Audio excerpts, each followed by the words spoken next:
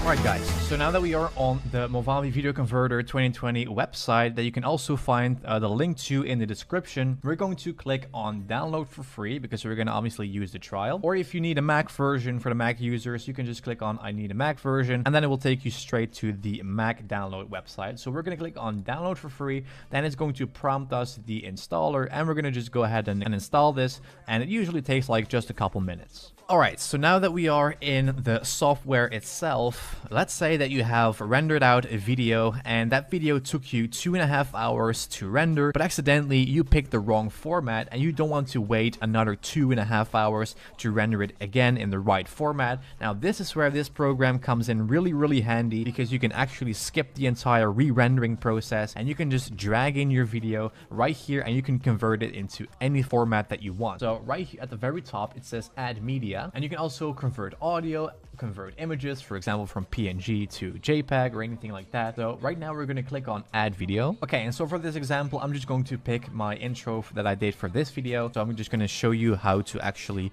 do that. Okay, so right now we have our video in here and it will show all the details, like how big it is, everything like that. So at the very bottom, we actually see all the different kinds of formats that we can convert it to. So let's say that you have exported your video into AVI and you want to render it out and you want to convert that to Windows Media Video, WMV, we're going to click on this icon and now everything is selected. So now we need to just optimize a couple settings. So right now we can, for example, put the file size to maximum, which is going to create the best quality, obviously, because you don't want to lose the quality that you have rendered out. So then the bitrate type is just going to be constant. It's not even clickable because we, we don't want to touch that. So then what we can do is we can, for example, like click on apply bitrate to all files files if you have multiple files running and then you can just close that out for a second. Obviously in this video you can choose if you have subtitles, if you have like a .srt file and the audio is obviously 128 kilobytes per second stereo. Everything is good to go. So at the very bottom it says save to where you can click on and will actually prompt us a location where you can save the converted file to and then we can just click on convert. Now obviously it depends on so many things like when it comes to like how long it takes because it depends on like how much RAM you have, how much space on your computer, like your processor, everything like that, and also how big the file is. If you're converting like a 30 minute video,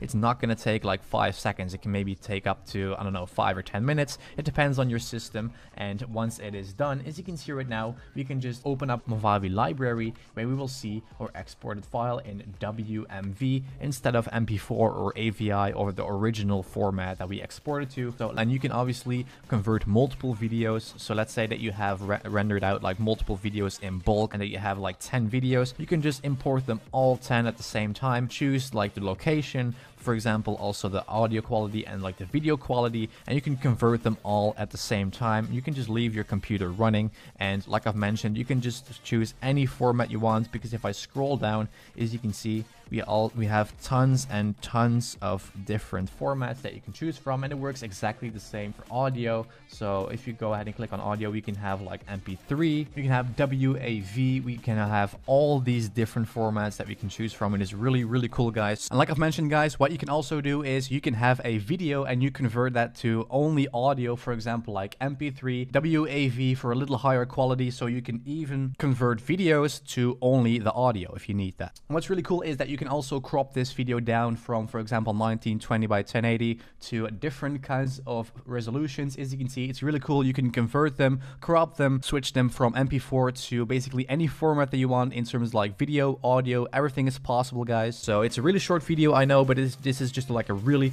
really straightforward program to convert your videos into the right format. Because let's say that you're giving a presentation and certain software that you use to run your video doesn't take a certain format. You can just export it real simple without losing quality. So it's a really fun program, guys. The link is down in the description.